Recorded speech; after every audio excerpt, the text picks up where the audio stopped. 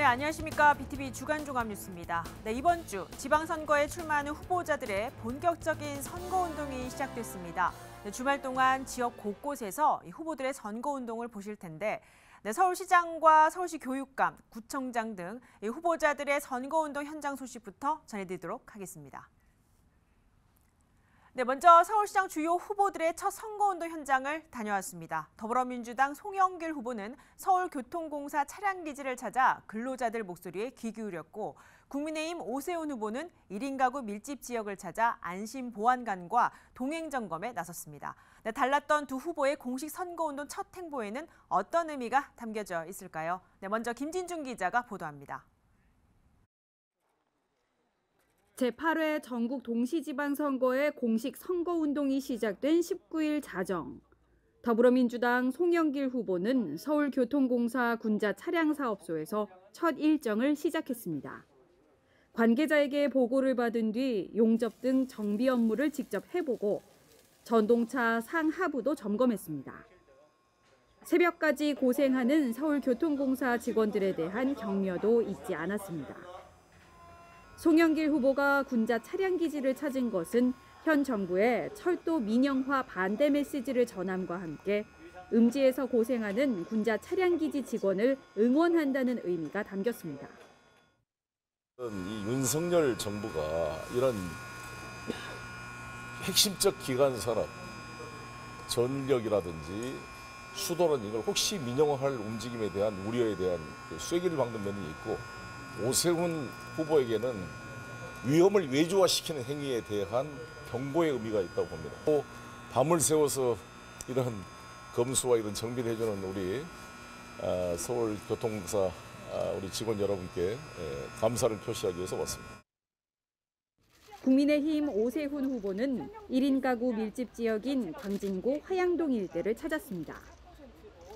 매일 밤 지역의 어두운 골목을 순찰하는 안심 마을 보안관의 애로 사항도 청취하고 함께 주택가를 순찰하며 스마트 보안 등 작동 점검에도 나섰습니다.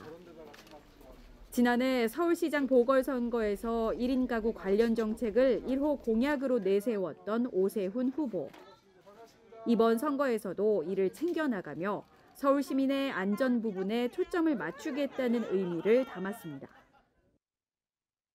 어, 시민 여러분의 안전을 지키기 위한 저의 약속이었기 때문에 안심마을 보안관 활동을 함께 하면서 공식 선거운동을 시작하게 됐습니다. 밤늦은 시간 집 주변을 안전하게 다니고 싶고 또 집에서 안전하게 생활하고 싶은 마음은 누구나 같을 것입니다. 1인 가구는 물론 서울 시민 모두의 안전을 위해서 앞으로도 최선을 다해서 챙기겠습니다. 시민 삶과 안전에 초점을 맞춰 공식 선거 운동의 첫 단추를 꿰두 후보. 시민 표심을 끌어모으기 위한 13일간의 쉼없는 레이스도 시작됐습니다. BTV 뉴스 김진중입니다. 네, 이처럼 본격 선거전과 함께 송영길 후보는 윤석열 정부의 백신을 재차 강조했습니다. 반면 오세훈 후보는 안심 서울을 만들기 위한 여러 방안을 연이어 내세웠습니다. 네, 이 소식은 김대우 기자가 보도합니다. 더불어민주당 송영길 서울시장 후보는 윤석열 정부의 백신이 될 걸 줄곧 강조해 왔습니다. 국민의 뜻에 따라야 될 텐데 너무 교만해지고 있습니다. 그래서 송영길을 불러냈다고 봅니다. 송영길은 윤석열 정부가 성공하기 위한 백신이라고 생각하는데 동의하십니까?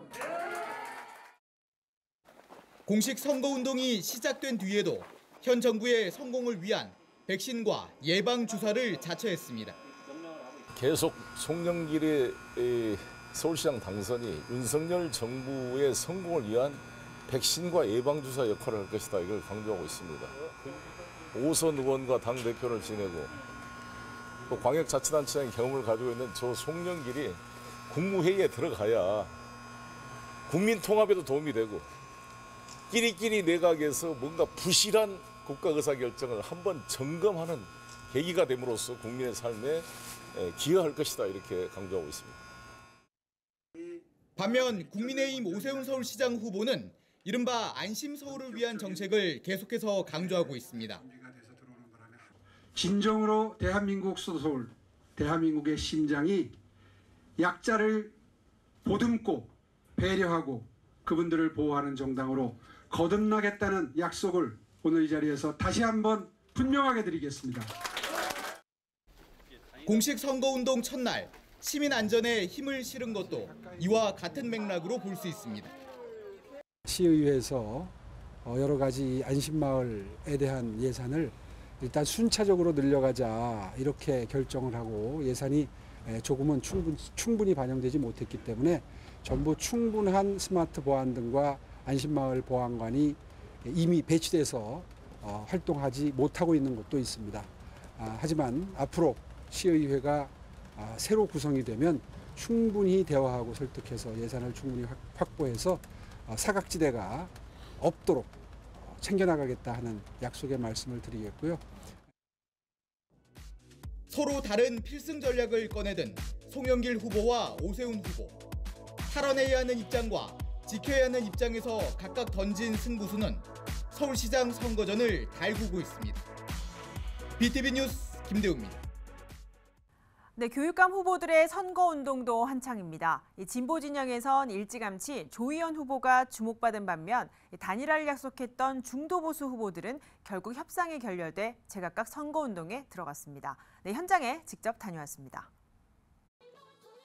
조희연 교육감 후보는 노원역 일대에서 출정식을 갖고 선거 운동 시작을 알렸습니다. 조 후보가 노원구를 선택한 건 서울에서 학교가 가장 많은 지역에서 질 높은 공교육을 만들겠다는 각오로 유권자 앞에 선 겁니다. 일 잘할 교육감이 필요합니다. 교육의 본질 회복에 일사합니다. 모두가 누리는 공교육 찬스 제공으로 교육에서 차별과 불평등을 해소해야 합니다. 단일화 협상이 무산된 중도보수 교육감 후보들도 각자 선거 전에 돌입했습니다. 서울시 교육감 후보 가운데 중도보수 단일화 명단에 오른 조전혁 후보가 가장 먼저 출정식을 가졌습니다. 아침 8시 청계천 광장에서 반지성교육, 전교조 아웃 등 진보교육의 병폐를 바로잡겠다며 교육감 선거 출마를 공식화했습니다. 학교를 이념의 세뇌전이 아닌 배움과 가르침이 있는 곳으로 학생들에게 돌려주겠습니다. 선생님은 잘 가르치고 학생은 잘 배우는 곳으로 되돌려 놓겠습니다. 박선영 후보는 2024년 교육청 신청사가 들어설 용산역 광장에서 출정식을 가졌습니다. 대학생 지지 선언과 함께 4년 전 못 이룬 새로운 서울 교육의 시대를 위해 선거운동 기간 동안 기초학력 강화에 초점을 맞추겠다는 각오입니다. 대부분 맞벌이 가정입니다.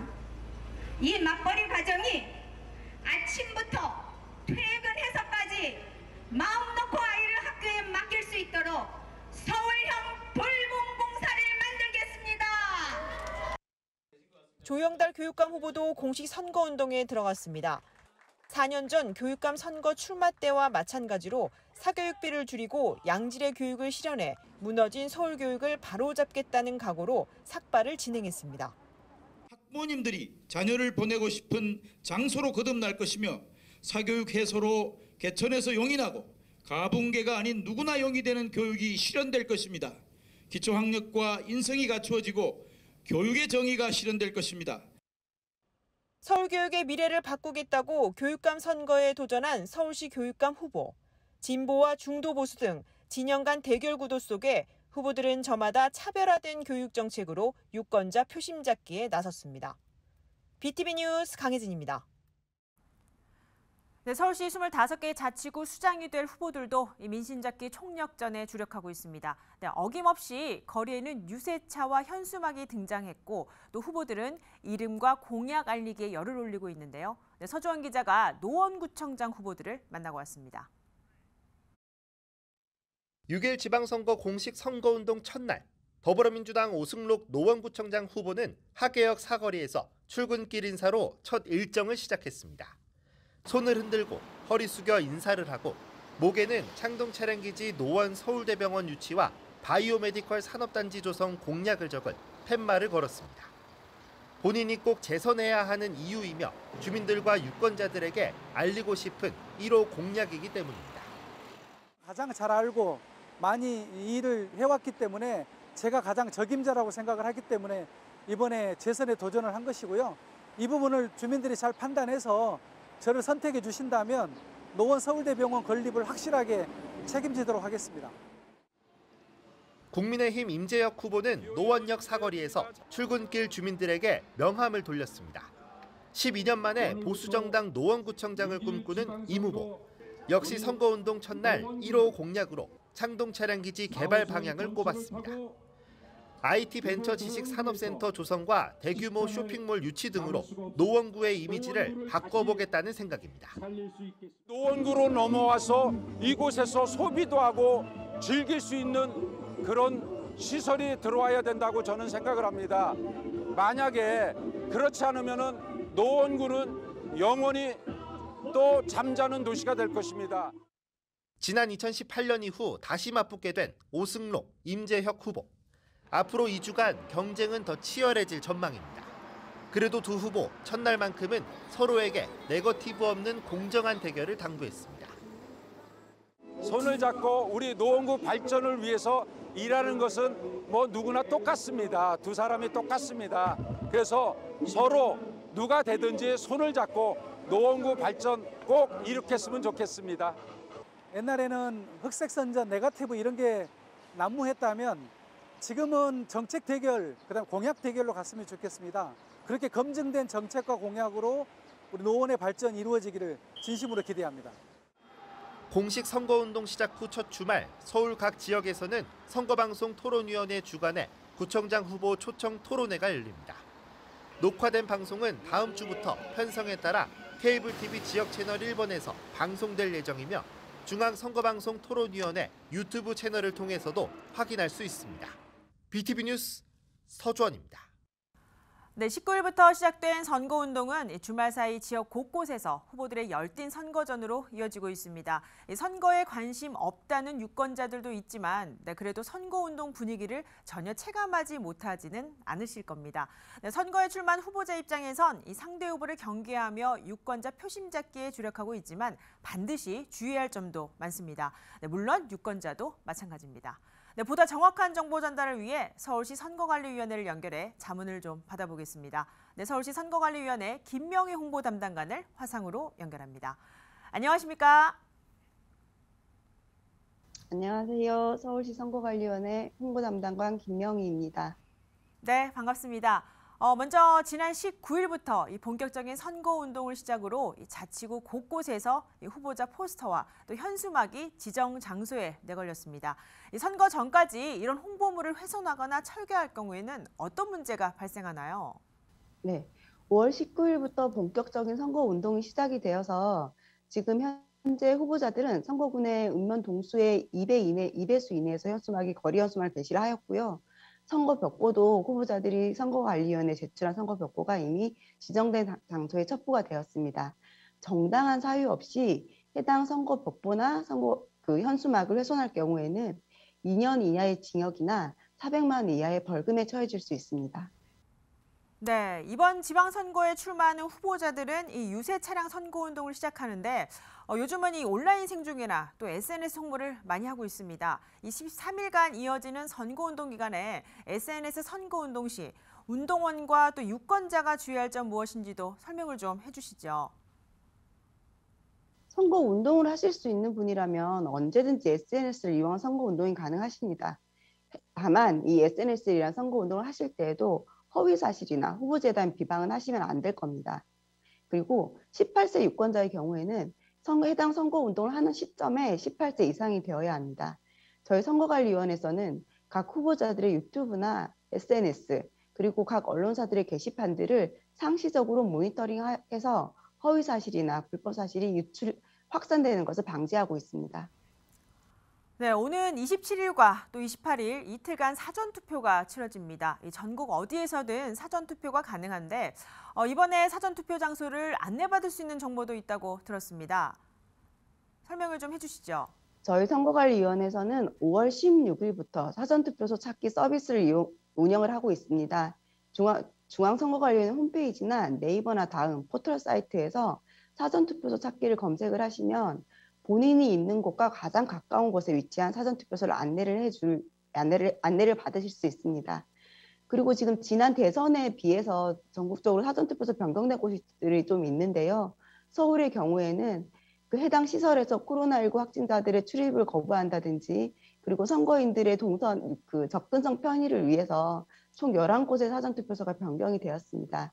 특히 서울역과 용산역에 설치되었던 사전투표소가 각 동 주민센터로 변경이 되었으니 사전 투표를 하시고자 하는 유권자들께서는 내 사전 투표소 찾기 사이트를 이용해서 검색하신 후에 방문하시면 좋을 것 같습니다. 네, 그렇다면 여기에 더해 이 사전 투표하시는 분들 준비할 것이 무엇인지 다시 한번 설명 부탁드립니다. 사전 투표 하시러 가시는 분들은 그냥 신분증만 있으면 됩니다. 국가나 공공기관에서 발행한 사진이 첩부되어 있고 생년월일이 들어가 있는 신분증만 있으면 전국 어디에서든 가능하십니다. 네, 27일과 28일 이 사전 투표에 대한 관심만큼이나 더 중요한 것이 바로 6월 1일 본투표 선거일입니다. 이 후보들의 선거 운동이 다음 달 1일까지 끝나는데 어, 끝으로 이 선거 운동 기간 동안 유권자에게 당부할 사항이 있다면 한 말씀 부탁드리겠습니다.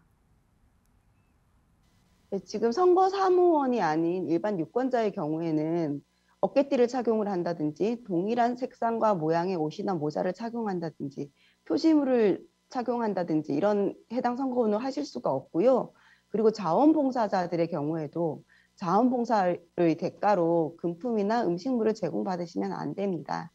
자, 우선 이제 투표소 가시기 전에 각 후보자들의 정책이나 공약을 확인하시는 게 가장 중요하실 텐데요. 저희 성, 중앙선거관리위원회 홈페이지에 보시면 정책 공약 마당이라는 사이트가 있습니다. 해당 사이트에 접속을 하시면 각 선거별로 후보자들의 공약을 한눈에 보실 수 있게 편리하게 마련이 돼 있으니까요. 해당 사이트에서 그 정, 출마하신 후보자들의 정책이나 공약을 한번 확인해 보시고 그리고 각 가정으로 배부된 선거 공보에서 각 후보자들의 정책이, 정책이나 공약을 꼼꼼히 비교하신 후에 그 소중한 한표 꼭 행사해 주시길 바라겠습니다. 네, 여기까지 듣겠습니다. 다음 달 1일 치러지는 제8회 전국 동시지방 선거를 앞두고 네, 서울시 선거관리위원회 김명희 홍보 담당관 연결해서 자세한 정보들 알아봤습니다. 네, 오늘 말씀 감사합니다. 네, 감사합니다.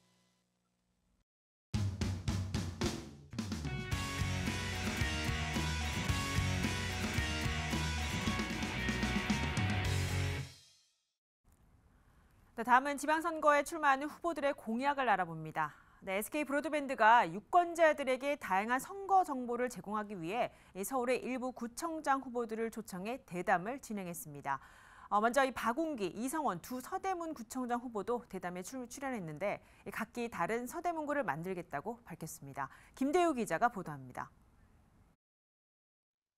새 서대문 구청장에 도전하고 있는 더불어민주당 박운기, 국민의힘 이성헌 두 후보는 각기 다른 서대문구를 구상하고 있습니다.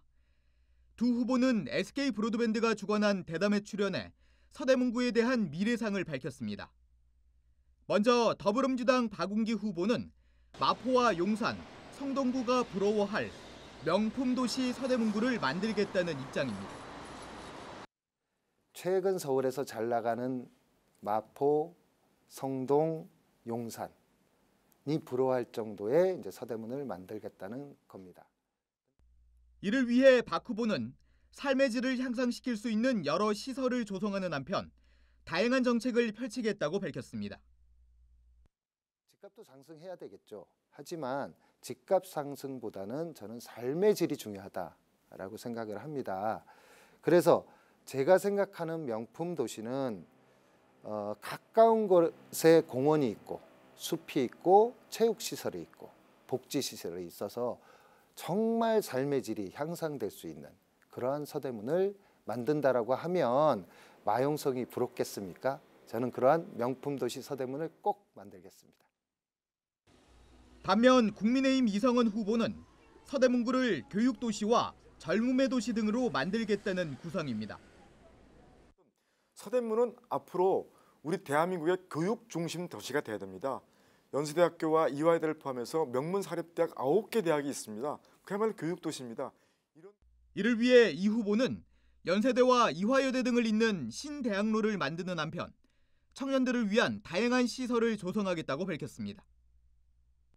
경의선 철도를 지하로 가게 하고 그리고 아, 연, 이화에대해서 연세대 그리고 아, 서강대 홍익대로 이어지는 이 거리를 신대학로로 조성을 해서 여기에 지금 아, 청년들이 많이 오는 곳입니다. 연구할 수 있는 공간 그리고 청년들이 와서 일자리를 구할 수 있는 정부 정보센터 그리고 훈련할 수 있는 그런 공간들을 만들어내려고 생각하고 있습니다. 젊음의 도시인 서대문으로 만들려고 하는 것이 저희 그 소망입니다. 박웅기 후보와 이성은 후보는 또 철도 소외 지역을 해소하기 위해 경전철 서부선과 강북 횡단선이 조금이라도 빨리 완성될 수 있도록 하겠다고 밝혔습니다. 또 강북 횡단선에 간호대역이 추가될 수 있도록 노력하겠다고 덧붙였습니다. BTV 뉴스 김대우입니다. 네, 광진구청장 후보자 초청 대담에서는 지하철 2호선 지상 구간 지하화와 이 점점 벌어지고 있는 지역 내 발전 격차 해소 방안 등 지역 발전 현안에 대한 공통 질의가 주어졌습니다. 현역 구청장인 김성갑 후보와 또 서울시 고위공무원을 역임한 김경호 후보 각각 내놓은 해법에 있어 서로 다른 차이를 보였는데요. 이 후보자들은 어떤 대답을 내놓았는지 김진중 기자가 보도합니다. 해마다 선거철만 되면 등장했던 광진구 지역의 수건 사업, 지하철 2호선의 지하화 문제. 여야 두 후보는 사업 추진의 가장 큰 숙제로 재원 확보 문제를 꼽으며 조속히 추진할 수 있는 방안에 대해 조금씩 다른 해법을 제시했습니다. 더불어민주당 김성갑 후보는 65세 이상 노인, 장애인 등에 지원하는 지하철 무임 승차 발생 비용을 중앙정부로부터 지원받는 방안을 제안했고 1년간 이 손실 비용이 약 4천억 정도 달하는 걸로 알고 있습니다. 작지 않습니다. 그렇기 때문에 중앙구청에서 이제는 이 위임 사무에 대해서 위임 사무에 들어가는 이 비용을 이제 지원을 해줘야 될 때가 됐다. 한 번에 100% 지원이 안 된다 그러면 한 50%씩이라도 점차 이렇게 인상돼야 되지 않겠느냐. 그렇게 되면은 어느 정도 어, 이 비용이 지하사 비용이 해소가 되리라고 보고요.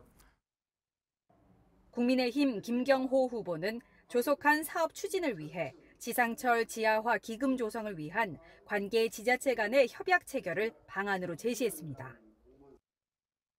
지하화 기금을 조성하는 뭐 MOU를 성동구, 광진구, 송파구가 합쳐서 MOU를 체결한다든가 또 우리가 건대 입구역이라든가 강변역은 유동 인구가 많기 때문에 이 부분에 대해서는 민자 유치를 해서 재원을 좀 더 많이 이렇게 확보하는 그런 노력을 기울인다면은 26년 만에 고도 제한이 폐지된 어린이 대공원 주변 구의동, 능동 일대 지역 개발 방향에 대해서는 각 후보가 그리는 밑그림이 미묘한 차이를 보였습니다. 주변 개발 방향에 대한 주민들의 공감대를 형성하는 것이 과제가 될 것입니다. 이 지구 단위 계획을 수립할 때 런던의 하이드 파크를 모델로 할 것을 생각하고 있습니다. 런던의 하이드 파크는 공원 주변에 넓은 보도 그리고 생활 도로가 있고 또 바로 옆에 고층 건물들이 아차산역, 대공원역, 그다음에 군자역 이런 역세권으로 포진돼 있기 때문에 대중교통이 굉장히 편리하게 조성돼 있습니다. 그래서 앞으로는 어린이 대공원 특성에 맞는 이런 상가 조성뿐만이 아니라 특화된 거리도 따라서 조성될 예정입니다. 그리고 명품 주거지로 조성이 되고요. 광진구 내에서 벌어지고 있는 지역 간 발전 격차 해소 방안에 대해 김성갑 후보는 도시계획 업그레이드를 통한 균형 발전을 강조했고 김경호 후보는 도시계획 재검토를 통한 재개발 재건축 사업 진행을 강조했습니다. 이 밖에 개발 계획에 주민 의견이 반영되지 않았다는 지적을 받고 있는 광장동 318번지 일대 체육부지 개발에 대해서는 친환경 체육공원 조성에 두 후보가 의견을 같이 했습니다. BTV 뉴스 김진중입니다. 네, 이번에는 성동구청장 후보들의 지역 핵심 공약을 알아봅니다. 이번 지방선거를 통해 뽑히는 이 차기 성동구청장의 숙제 가운데 하나는 바로 삼표 레미콘 부지 활용입니다. 민간 개발이 정해진 상황에서 양 진영은 이 성동구의 미래 먹거리를 찾겠다는 것인데 해법은 조금씩 다릅니다. 네, 이재원 기자가 전합니다. 44년간 성동구 성수동에 위치해 있던 삼표레미콘 공장의 철거가 시작됐습니다. 이 단계를 거쳐 오는 6월 말이면 전면 철거가 이루어집니다. 남은 문제는 부지 활용.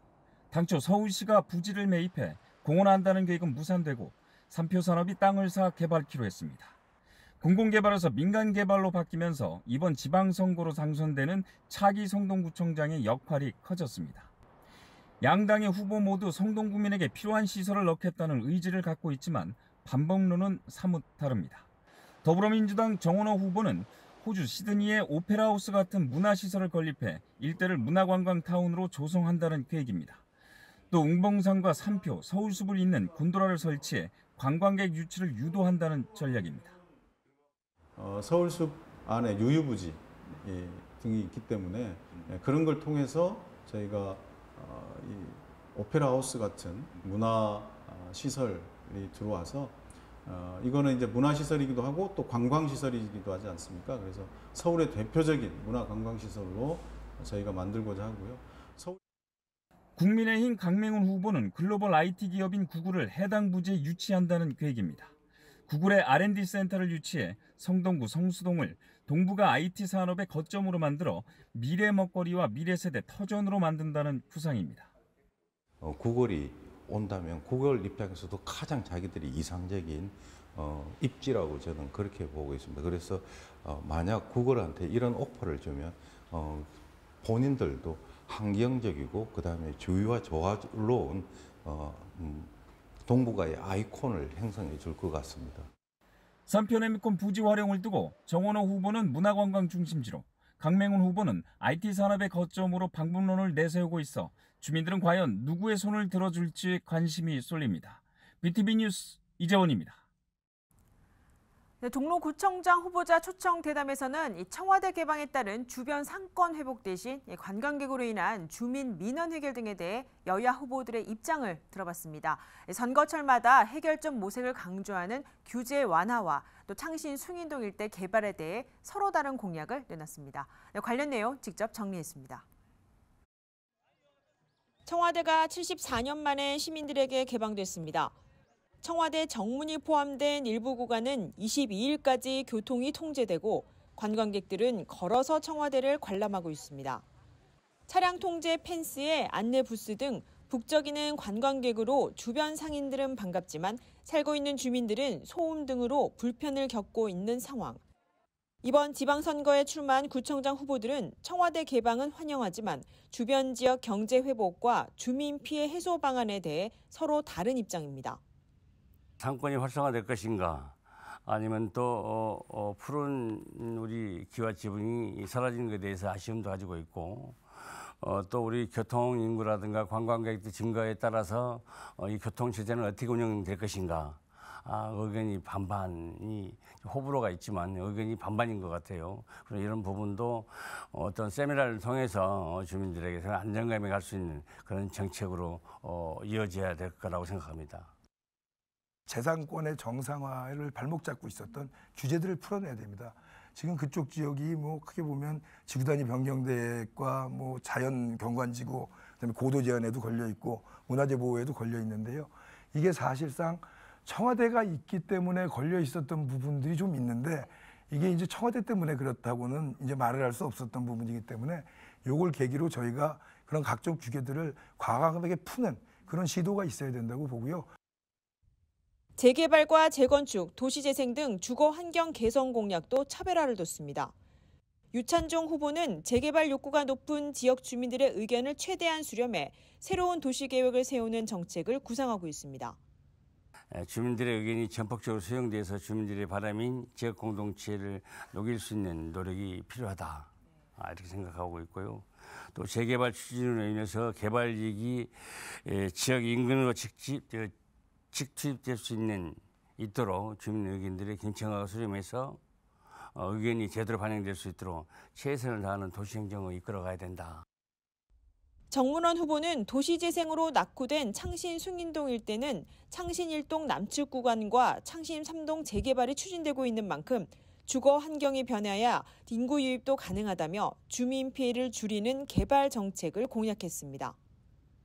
근데 하나 확실한 거는 대부분의 재개발이 진행되다 보면 주민들한테 피해가 갈 수 있는 그런 재개발이 진행될 수 있는데 그런 거는 지양한다 하면 안 된다. 예, 그러니까 주민들의 공감대를 충분히 형성하고 주민들의 의견을 모아서 그 주민들에게 도움이 될 수 있는 그리고 주민들이 원하는 방향으로 갈 수 있는 꼭 주거환경 개상이 아파트 짓는 것만 주거환경 개선이 아닙니다.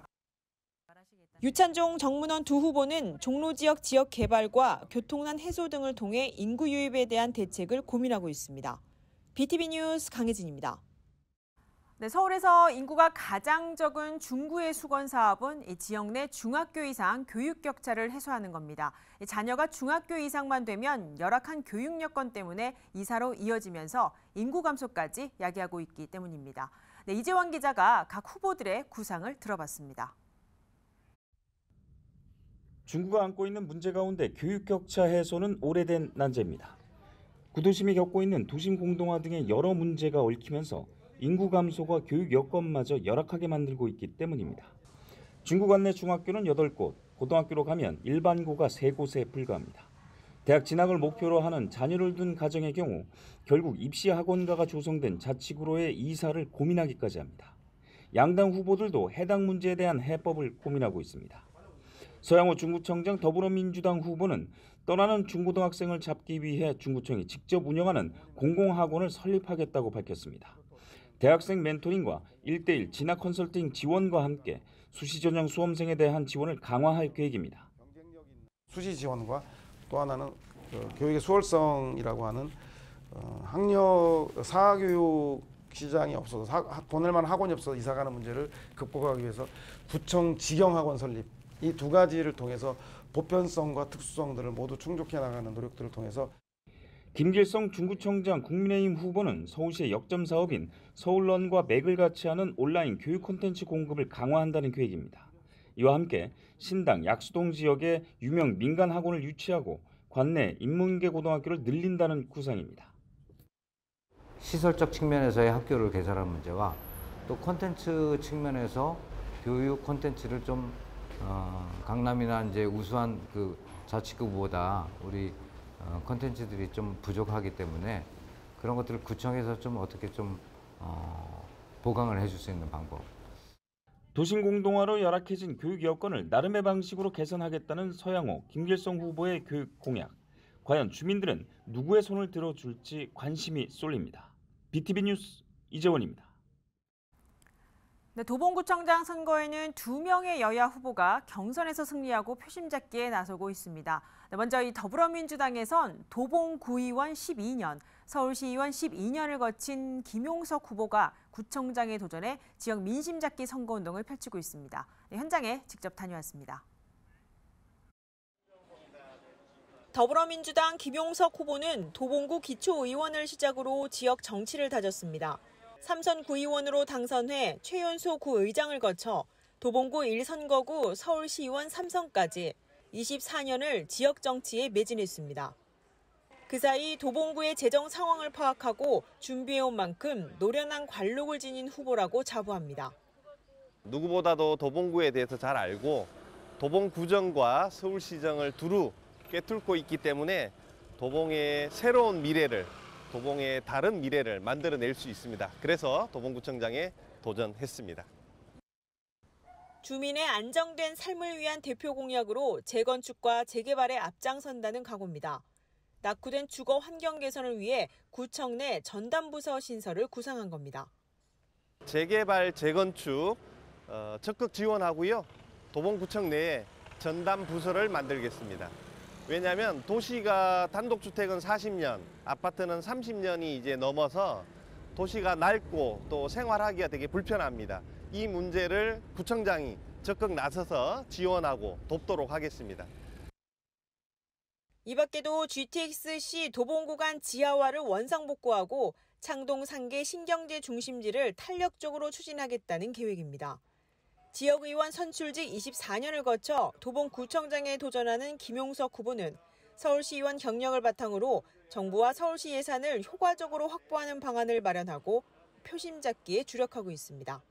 BTV 뉴스 강혜진입니다.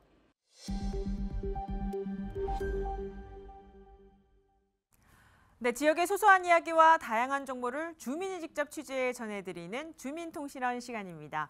요즘 자치구마다 여러 문화 사업을 펼치고 있습니다. 이 지역 자원을 관광 사업으로 연계하고 있는데 네, 성동구에서 주민을 대상으로 문화 관광 해설사 양성 과정을 운영하고 있다고 합니다. 네, 어떤 내용인지 저희 주민통신원이 직접 취재를 하셨는데요. 네, 성동구를 담당하는 서성원 통신원을 화상으로 연결해서 자세한 내용 알아보도록 하겠습니다. 네, 서성원 통신원 나와 계십니까? 네, 서성원입니다. 네, 반갑습니다. 어, 성동구가 문화 관광 도시로 거듭나기 위해서 여러 사업을 펼치고 있다고 들었습니다. 예, 그 중에서도 요즘 이 성수동은 젊은이들의 hot place로 불려지고 있는데 어, 여기에 더해 또 성동구가 발빠르게 움직이며 뭔가 하고 있을 듯합니다. 어떤 문화 행정을 펼치고 있는지 설명을 좀 해주시지요. 네, 성동구는 문화 관광 도시로 발돋움하기 위해 다양한 노력을 해왔습니다. 어, 그 중에 일부를 소개하자면 서울 속 마을 여행, 성동 힐링 영화제, 거리 공연, 찾아가는 음악회 등을 했습니다. 여기서 한 단계 더 도약하려고 준비를 하고 있습니다. 네, 그렇다면 이 문화 관광 발전을 위해서 어떤 행정 지원을 하고 또 성동구가 어떤 노력을 하는지도 궁금합니다. 음, 네, 그 성동구는 문화관광진흥 종합추진계획을 만들고 있는 중입니다. 어, 이 사업은 성동 지역의 관광 현황을 분석해서 구체적인 사업 계획을 세우는 것인데 용역을 주어서 진행한다고 합니다. 어, 이 사업으로 해서 성동구의 관광진흥 로드맵이 완성될 것으로 보입니다. 또한 어, 관광진흥위원회도 구성해서 다양한 관광 정책을 모색할 것이라고 합니다. 네, 이 말씀하신 여러 관광 사업 가운데 주민이 참여하는 해설사 양성 과정이 열렸다고도 들었습니다. 이 문화 관광 해설사 양성 과정, 이 개강 소식도 함께 전해주시죠. 아, 네, 지난 5월 4일에 성동구청에서 개강식을 가졌습니다. 어, 이 자리에서 정원호 성동구청장은 성수동의 한국의 브루클린으로 젊은이들과 문화예술인들로부터 각광을 받고 있다고 말하면서 이런 성동구의 문화관광을 맛깔나게 해설할 사람들은 여기에 모인 분들이라고 말했습니다.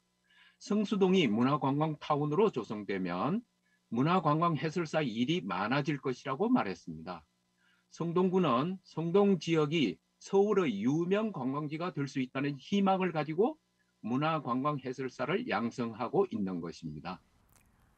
네, 이 문화관광 해설사는 사실 이 종로와 중구 등 또 여러 자치구에서 유사한 사업을 하고 있는데 이 성동구의 문화관광 해설사 양성 과정은 좀 다르지 않을까 싶은데 어떤 내용으로 진행됩니까? 문화 해설사 양성 과정은 성동구와 성동문화원이 공동으로 추진하는 사업입니다. 지원자들은 면접을 거쳐서 수강 대상자로 선정되었습니다. 어, 이들은 5월 4일부터 총 10주에 걸쳐서 30시간을 이수합니다.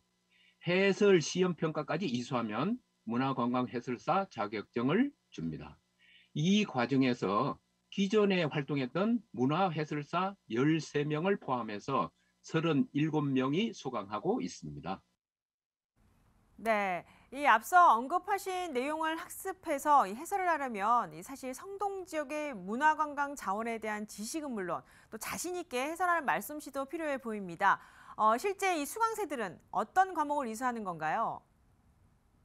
예, 문화관광 해설사의 자세, 한양의 역사지리, 자연지리, 지역 특화 문화 관광 자원의 이해, 현장 교육, 자원봉사 교육, 해설 시나리오 작성법 등을 배웁니다. 현장 교육은 성수동, 서울숲, 살고지 다리 등 문화관광 코스를 탐방하는 과정입니다. 여러 과목 중에 지역 특화 문화관광 자원의 이해는 제가 강의를 맡아서 진행했습니다. 네, 그렇군요. 이 성동구가 운영하는 문화관광 해설사 양성 과정 취재를 직접 하셨는데 네, 끝으로 이 교육에 참여한 주민들의 반응은 또 어땠는지 궁금합니다. 네, 어, 문화관광 해설사로 지원한 분들은 열의가 넘쳤습니다. 예전의 문화해설사는 주로 학생들을 대상으로 활동했다고 합니다. 어, 앞으로는 달라질 것이라고 기대하기 때문입니다. 서울 슈퍼의 3표 레미콘이 올해 6월까지 이전을 합니다.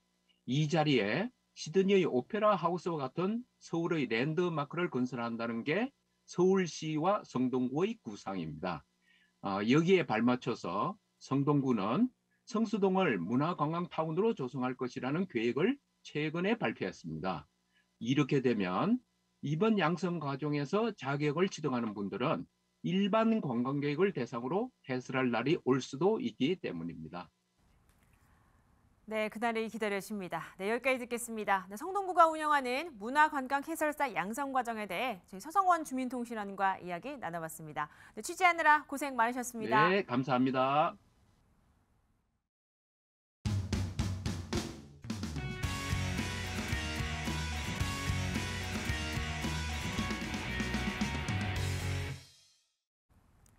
네, 다음은 다양한 문화 소식을 전해드립니다. 네, 이번 주 볼만한 영화 소개해드립니다.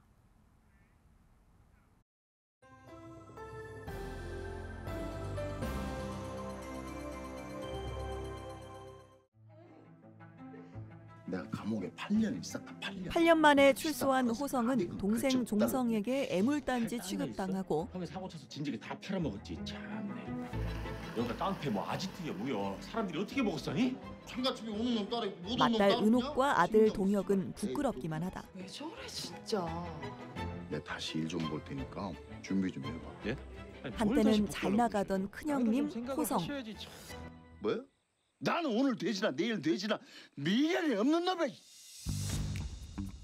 아버지 장례식 부조금을 미천 삼아 기상천외한 비즈니스를 계획하며 제2의 전성기를 꿈꾸지만 돈 좀 벌었냐? 나도 돈 좀 줘라. 때마침 눈치라고는 일도 없는 친구 양희가 술에 취해 오지랖을 부리는데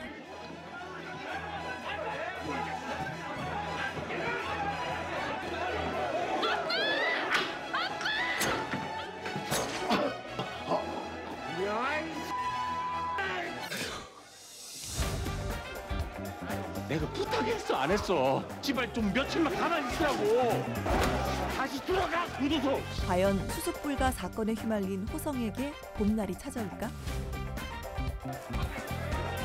영화 봄날입니다. 네, 공직선거법상 선거에 출마한 후보들은 이 선거관리위원회가 주관하는 후보자 초청 방송 토론회에 출석해 지역 현안 등을 주제로 토론을 하게 됩니다. 네, 여기에 군소정당 후보들은 초청 연설을 하는데 네, 이 토론이 각 자치구마다 토요일과 일요일 열립니다. 네, 지역 주민을 대변해 지역의 진정한 일꾼이 되겠다고 나선 구청장 후보들의 정책 공약이 과연 실현 가능한지 토론의 내용을 중심으로 다음 주에 보도해 드리도록 하겠습니다. 네, 저희는 서울 시민, 더 나아가 지역 주민의 가치를 담은 소식으로 다음 주 찾아뵙겠습니다. 네, 시청해 주신 여러분 고맙습니다.